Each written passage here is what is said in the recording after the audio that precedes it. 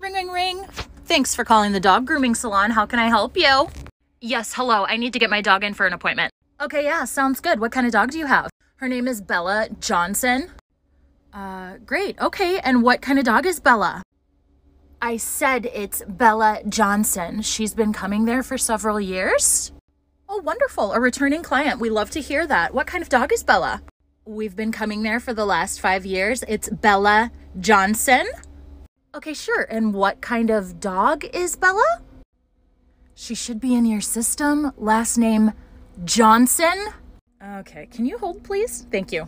Boop. Larissa. Larissa.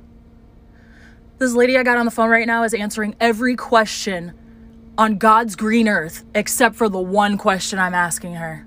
Yeah, yeah, one of those. Says the dog's name is Bella, like that isn't the most popular dog name we get in this freaking salon. Says the last name is Johnson, like that's not the most popular last name in the United States of America. Girl, let me try to find the patient. Boop. Ma'am, what kind of dog is Bella?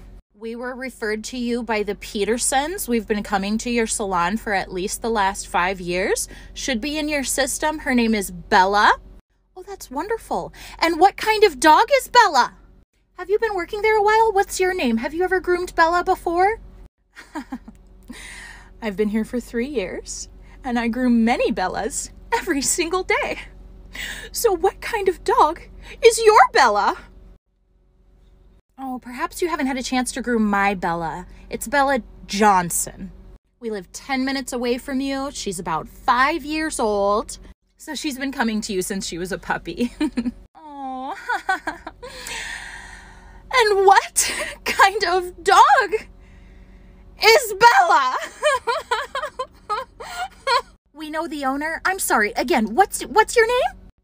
Oh, I'm sorry. I'm getting a call on the other line. Please hold again. Boop.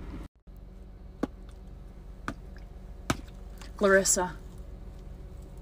This woman will not tell me what kind of dog she is.